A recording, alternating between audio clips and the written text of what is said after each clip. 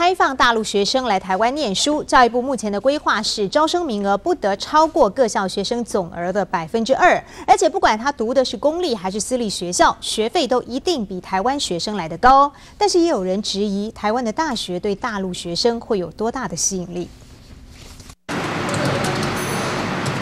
这一幕打出一整串的城市码。来自北京科技大学的交换学生曹俊正在写其中作业，同样念资讯，在台湾偏重实际操作。像这个英文单字测验系统，他得自己想办法用城市码做出来。我那个作业已经做到第五个了，我就感觉到我自己学东西已经太多了，就是动手操作能力非常有自信。在资讯的领域里，台湾学校在硬体和实际操作上都让陆生觉得很有吸引力，但这并不意味陆生会想来台湾念书拿学位。同样是短期交换学生的刘同学就说：“中国大学生竞争激烈，同才之间读书风气盛，想念书学东西，台湾并非第一选择。”坦白说，就是说这边硬件设施很好，条件比我们好，但是学生努力的程度不够，在那边考不上好大学的话，才会考虑说要花大钱来台湾念。那花大钱的话，基本上就可以直接去美国了。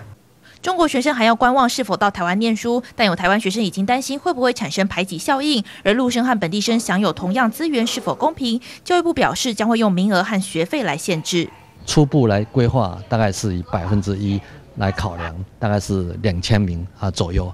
另外收费方面来讲啊，原则上是以呃私立学校不低于私立学校目前的学杂费的收费。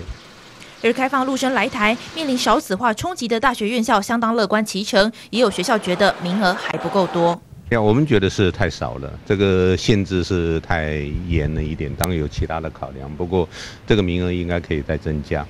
按照教育部的规划，招生对象初期限缩在公立大学招收研究生、私立大学招收专科以上学生。尽管陆生来台意愿还有待观察，但教育部也担心政策冲击，因此将会以循序渐进的方式来进行。记者综合报道。